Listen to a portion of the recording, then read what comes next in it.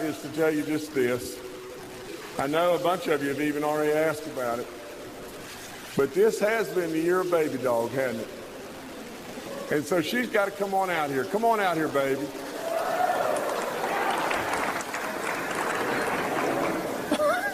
come on, baby dog.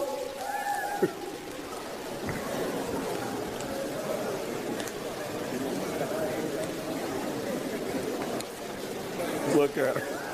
Stand up you see her.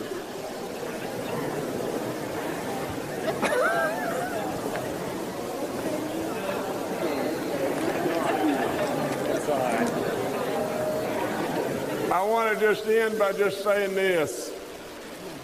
We're getting through a pandemic, are we not?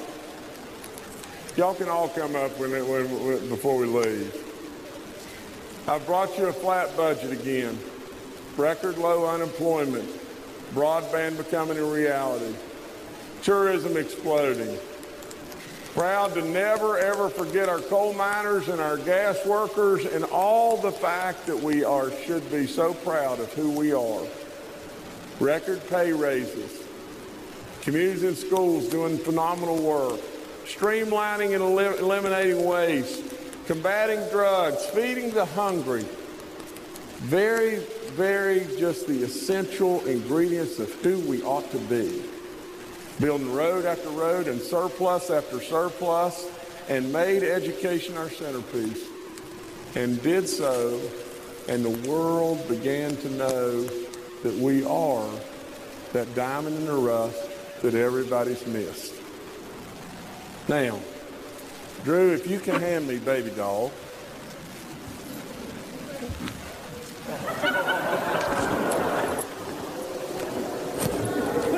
I want to tell y'all just this, and I mean this. I told you a second ago, easy, baby. Don't go, you're, you're hung up in my jacket. I wanted to tell you just this. I told you a few minutes ago, I'm your proudest fraud. Absolutely too many people doubted us. They never believed in West Virginia. They never believed in West Virginia that we could do it.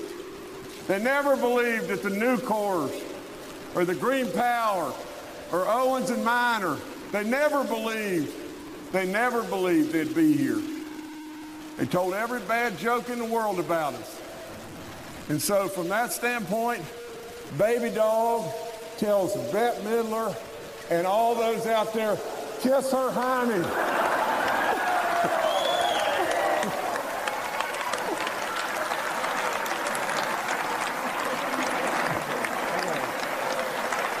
God bless you all.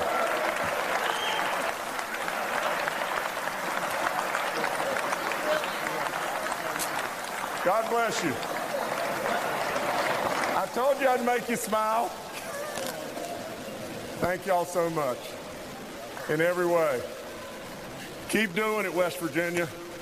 You can absolutely do greatness more and more and more to come. Thank you so much. You are an incredible group of people. Don't become DC. Keep it going. Way to go, West Virginia. Proud of you.